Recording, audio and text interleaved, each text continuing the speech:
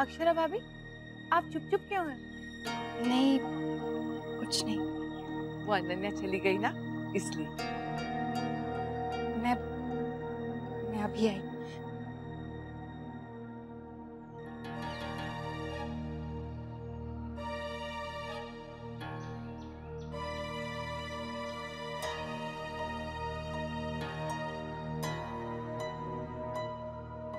आ जाओ आ जाओ।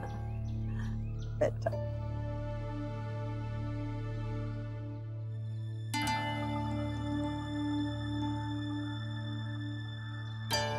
लाई माँ मैं रख देती हूँ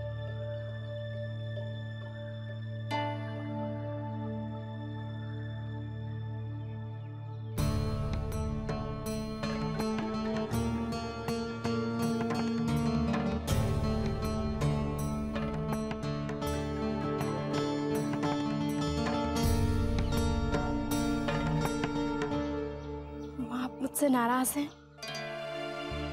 माँ, पूरे रास्ते आपने मुझसे बात नहीं की है। तू इतनी कठोर दिल कैसे होगी, वर्षा?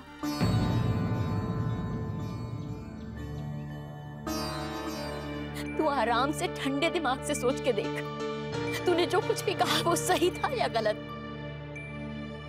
तुझे खुद जवाब मिल जाएगा।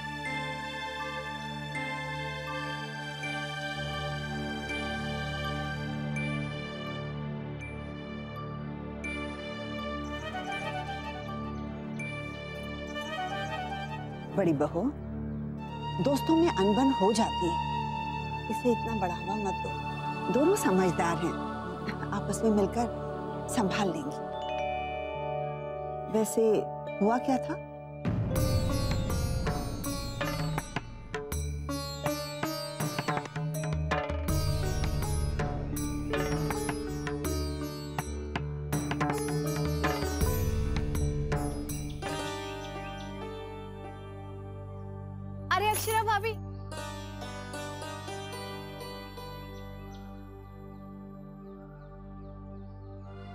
भाभी? कल वर्षा भाभी अनन्या को लेकर कुछ ज़्यादा टेंशन में थी क्या?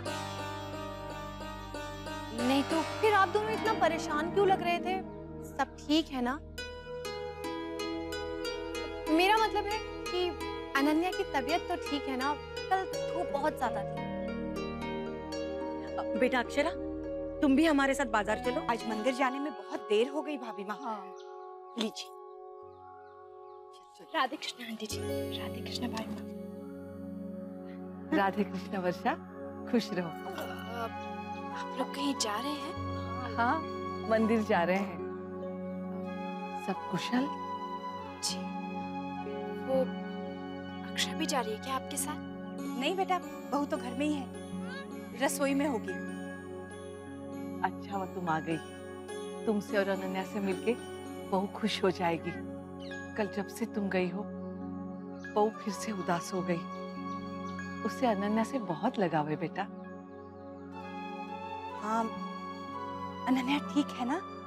कल बहू भी परेशान लग रही थी और तुम भी। बेटा, जल्दी मत जाना रुक के जाना हाँ? हम मंदिर होकर आते हैं।